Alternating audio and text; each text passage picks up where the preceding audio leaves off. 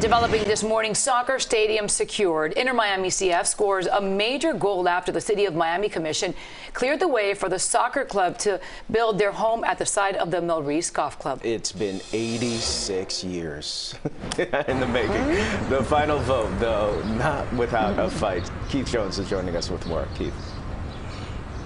What it feels like it doesn't every time we mention this topic people are like how long has this been going on? Well it dates back to 2018 it all ended last night after some heated exchanges between city commissioners. They took a 30 minute plus recess. They came back reconvened took the vote and this morning this deal is done the vote four to one, four yeses, one no, and Melreese Country Club will now become Miami Freedom Park, home to the Inter Miami FC soccer CF Soccer Club. Pardon me.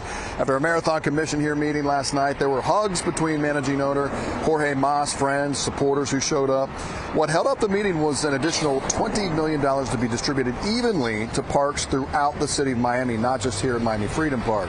The total rent paid over 99 years will be $2.6 billion. Now, Mas's team is going to finance the whole deal for this new stadium, commercial properties there, the 58 acres at Miami Freedom Park, and much more to this deal. Now, the deal did look a little different as it ended last night than what was being proposed as they started the meeting.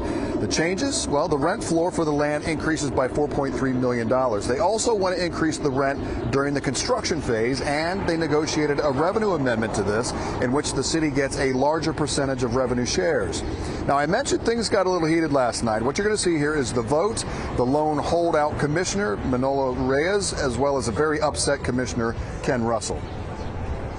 All in favor? Aye. Going to be a no. I'm sorry, what?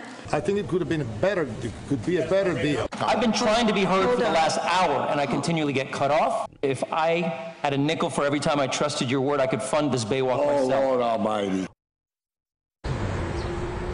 Uh, there were more exchanges like that as well last night.